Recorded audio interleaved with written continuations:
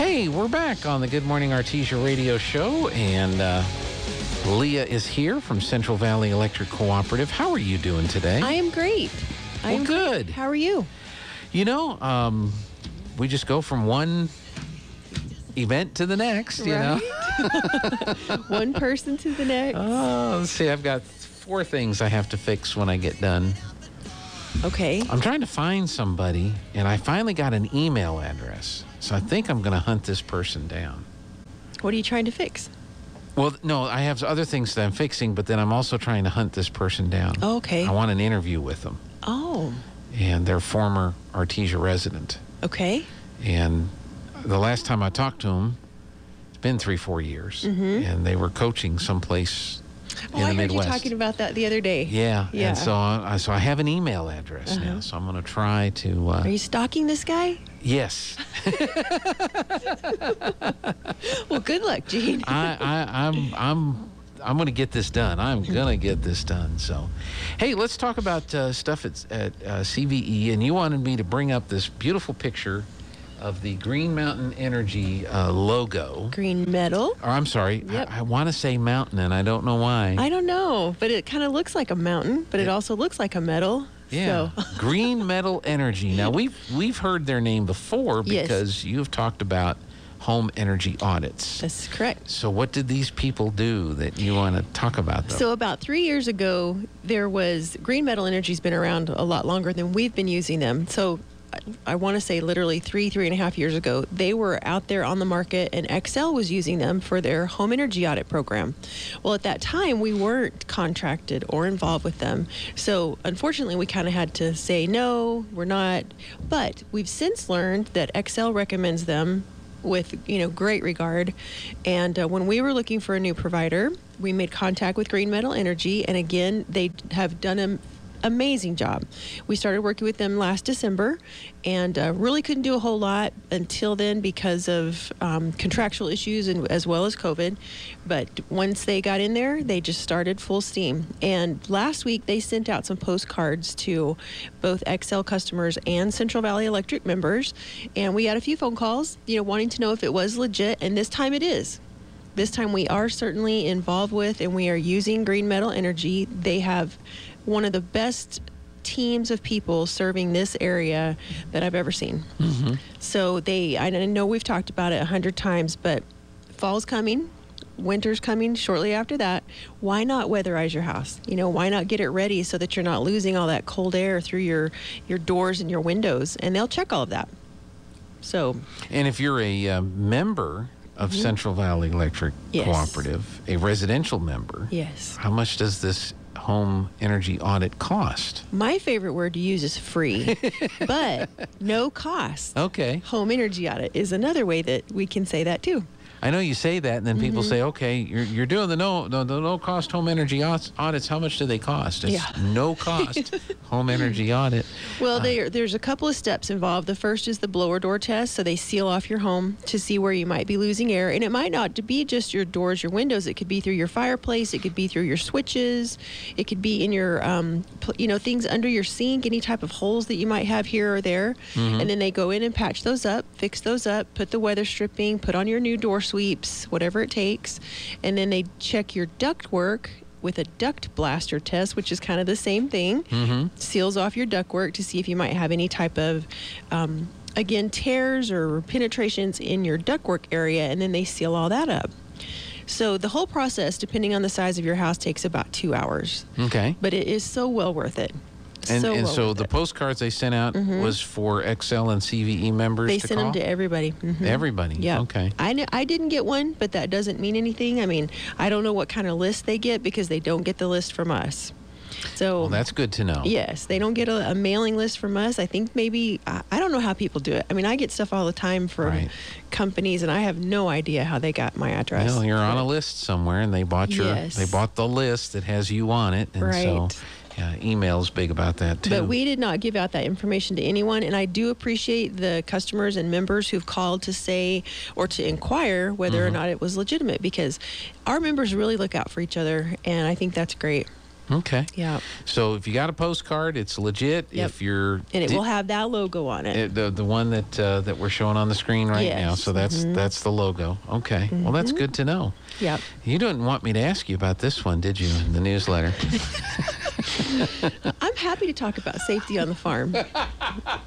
it is um, Farm We- Safety Month. Okay, So why all not? right, let's talk about that. well, no, the only reason I ask, it's in your newsletter, Mm-hmm. and it's increased fuel cost adjustment, and you have mentioned in the past when there's peak energy days yes. to help, you know, keep the uh, the things under control. But Just briefly, what is the increased fuel cost adjustment? This one is in particularly talking about the freezing weather that we had in December. Okay. And it wasn't until about February that they were even able to get things figured out because and we know we had those outages. We know we had, you know, below zero temperatures for days and days.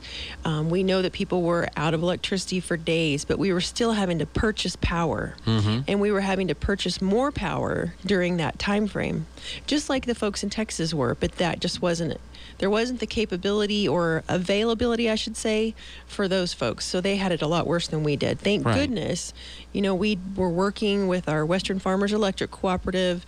We were able to get as much power as we needed. I think our longest um, outages were maybe an hour and a half, 45 minutes here and there, and we were having to shed some load, which, you know, taking, you know, portions of, of a substation and turn it off for a little while so that people in that area had to go without power for a little bit. So because of that increased purchase, after all was said and done with that in purchasing power from Western farmers and with Xcel or SPS, somebody's got to pay for that. So Right.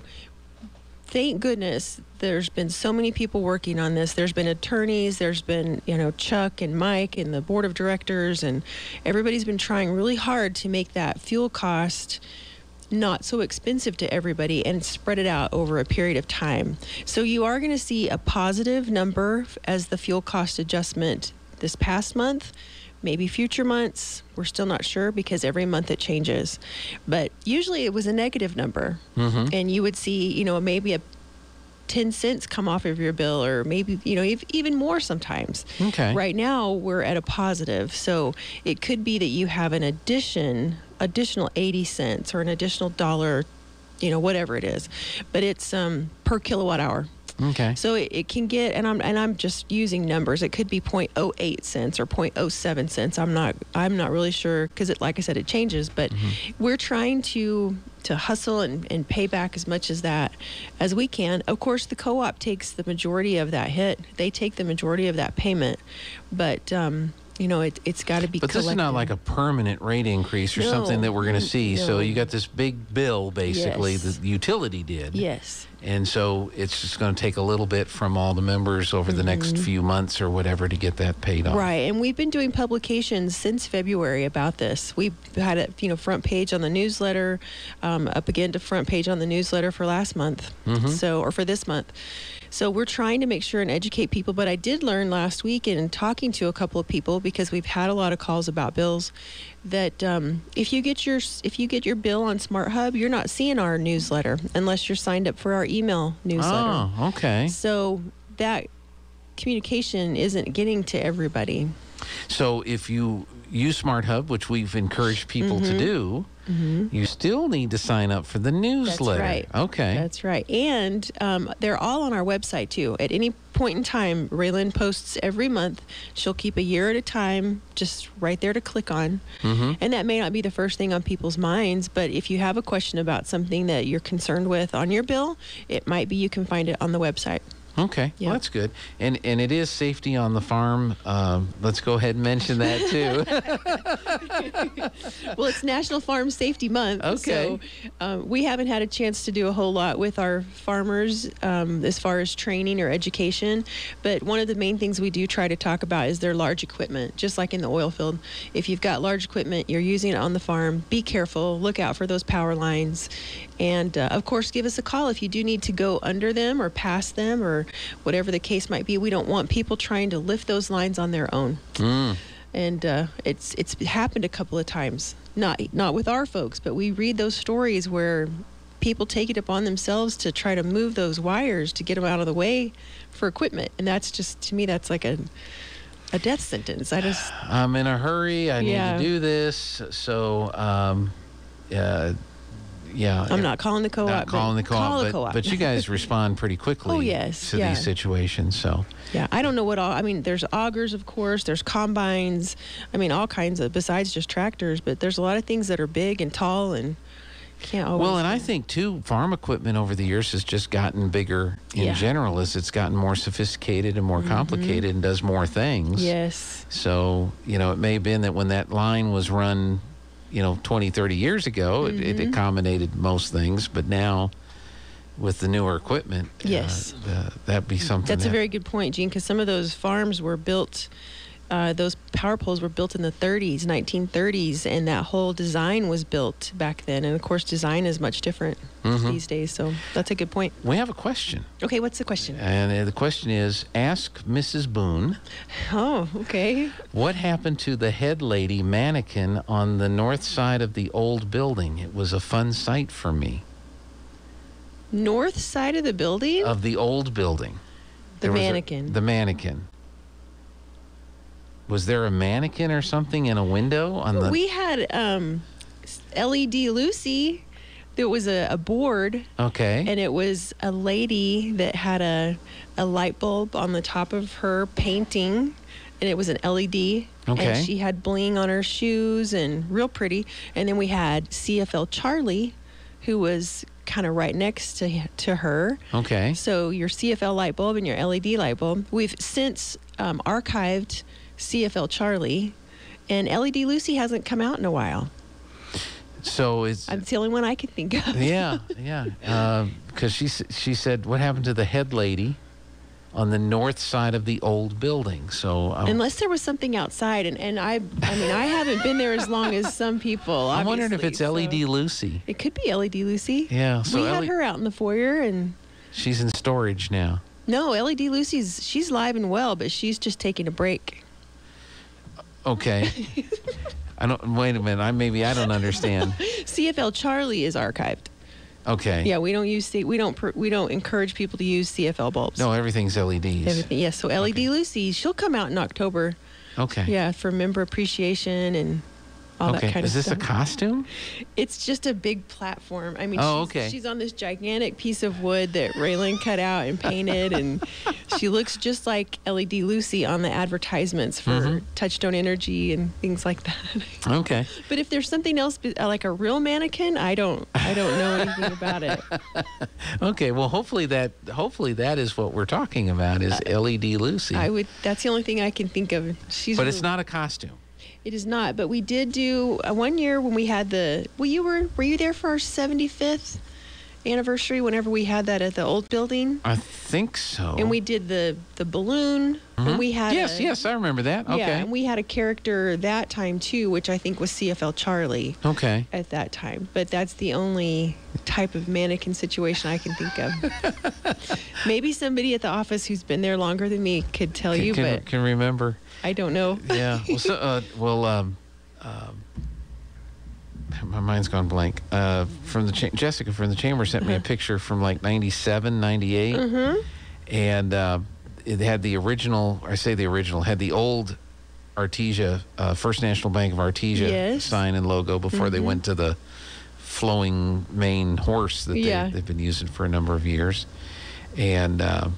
It's just kind of weird to look at the old pictures and see what uh, what we thought was interesting back then. hmm So, I know, and I've been banking with them for 25 years. You know, Mhm. from First National to First American and whatever. But yeah, that's yeah, the the, the horse wasn't always their No. their symbol. They had another, well, it had an A in it, you yeah. know, and I just can't even. I can't remember what yeah, it looked like. was but- in the, it was in that picture. So, well, let's let's hope that answers uh, uh, Miss Franco's question there about. Yes, Miss Franco. I'm sorry if I didn't give you the correct answer, but LED Lucy's the only gal I know of. That's well, that, that makes sense to me. Yeah. LED Lucy. So, well, good. Anything else uh, going on? I think that's it. Okay. Um, just uh, if you have questions about that home energy audit or if you want to sign up, I believe the postcard has a phone number for you to call Green Metal Energy directly. And then they're really good about getting back with us to make sure that they qualify, to mm-hmm. make sure that they are a customer of ours. And um, because they have two different billing components. So if you want to call us, if you want to call them, either way is fine with us. Okay. So excellent. That would be uh, that would be good. Yeah. Um, 575 746 3571. And our website is cvecoop.org. all right, put your other hat on for a second. Okay, let's do it. How's the green chili cook-off or We- I- challenge? I, think we have two more competitors. Okay. So that would bring us to five. okay. I know. Um, I know of one team who's already got their permit. Mhm. The second team was submitted Friday. Okay. So they're waiting for their permit. And then I got a call from a friend of mine yesterday, and they're going to turn theirs in hopefully today. okay. So, and then we already had two teams signed up before that. So hopefully that gives us five teams. Okay. And I really have not been good at, at advertising this because I just haven't had time. But um, I know Jessica and Haley talk about it. And it's on the chamber website and Mhm. all of that. But September 18th is going to be a fun day for the Green Chili Cook Off. And that's not this Saturday. That's the next Saturday. yeah. And there's going to be uh, music. there's going to be people come out and sample Mm-hmm. the uh, food items from these different competitors. Right. I'm sorry. I got all choked up. That's okay. and then you'll get to uh, vote on your Yes. favorites amongst the uh, the different folks. And then Mm-hmm. I think you mentioned yesterday, we brought it up with uh, Haley and Jessica. Kith and Kin is going to be vending. Yes, they're going to be selling Okay. that ice cream Okay. and cookies and the green chili latte. Okay. Because they, they had those at our little challenge that we did over there. And, yeah, so and- they'll be selling those in case somebody needs something cold to drink or hot to drink or whatever. We we will have, excuse me, drinks from the hotel. Mm-hmm. But other than that, we we don't have anybody signed up to do a beverage. So Okay. yeah, Very good. So get some of that green chili ice cream. Yeah. They're not they're not competing. Yeah, that's but, right. But it is there for everybody to enjoy. September 18th, 12 to 6. Music is from 2 to 5, and prizes will be given at 5. All right. Yep. Thank you. Thank you very much. All right. That's going to be it for the show today. We'll see you back here tomorrow.